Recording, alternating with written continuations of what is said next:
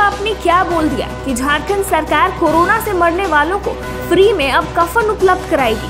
यह बातें मुख्यमंत्री हेमंत सोरेन ने मंत्रियों के साथ बैठक के दौरान कही। उन्होंने कहा कि कोरोना के दूसरे संक्रमण में कई लोगों ने अपने सगे संबंधियों को खो दिया है।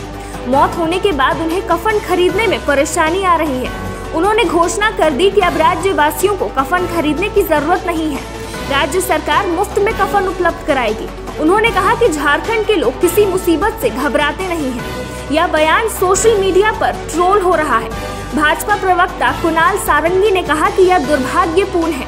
सरकार ने लोगों को दवाई और इलाज के लायक नहीं समझा। लोगों को कोरोना काल में कफन के काबिल समझा। सरकार की प्राथमिकता जन स्वास्थ्य न होकर मृत्यु और कफन हो गई है।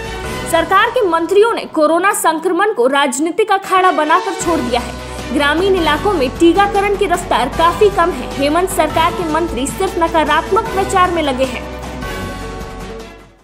ये निर्णय लेते हैं कि राज्य में किसी को भी कफन खरीदने की ज़रूरत नहीं पड़ेगी। सभी लोगों को कफन मुफ़्त दिया जाएगा। इसका निर्णय लिया जाता है।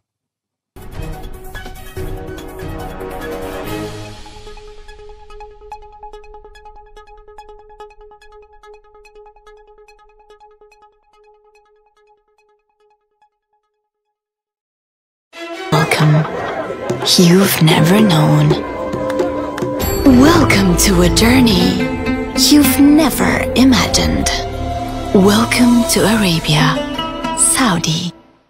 दो गड्ढों वाले शौचालय के बारे में सुना है हाँ? नहीं सुना आइए समझाते हैं देखिए दो गड्ढा बनाइए पहले वाला जब मल से भर जाएगा ना तो ये चालू हो जाएगा और साल भर के अंदर इसके अंदर जो मल है ये खाद बन जाएगा इसे खाली कर दीजिए इसी तरह शौचालय जो है वो आजीवन चलता रहे न बीमारी फैलेगी न और पैसे?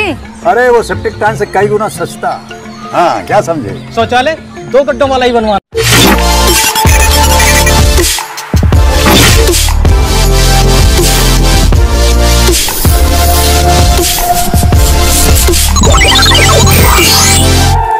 Welcome